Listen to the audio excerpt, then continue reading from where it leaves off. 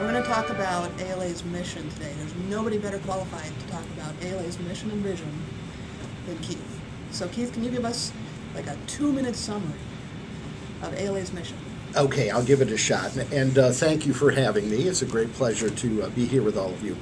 Um, I'm reading from uh, the uh, ALA's new strategic plan, uh, which is our 2015 plan.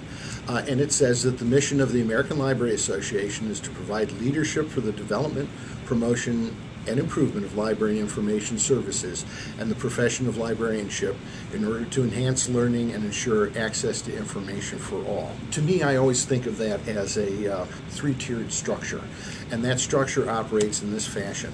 First of all, ALA serves members. Uh, it's a member organization. Members are our um, primary business.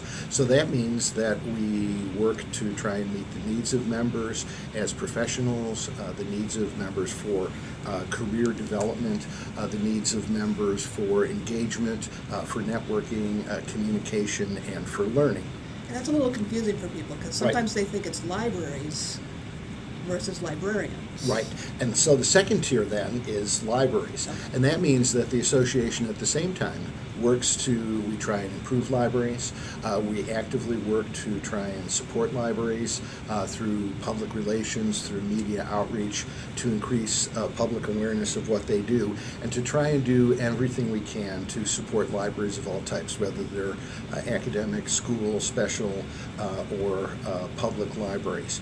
And then the third tier is the public, because at the same time, and you can follow this as you read through the mission, a lot of the things that ALA is involved in, like intellectual freedom, uh, access to information, clearly relate to the informational needs of the public. And they really go beyond even the individual library. When you talk about something like copyright, it's a very abstract concept, but the reality is uh, ALA is probably the foremost organization in the United States at this point and one of the foremost in the world that's actually working to try and keep copyright uh, as open as we can so that people have increased access to information.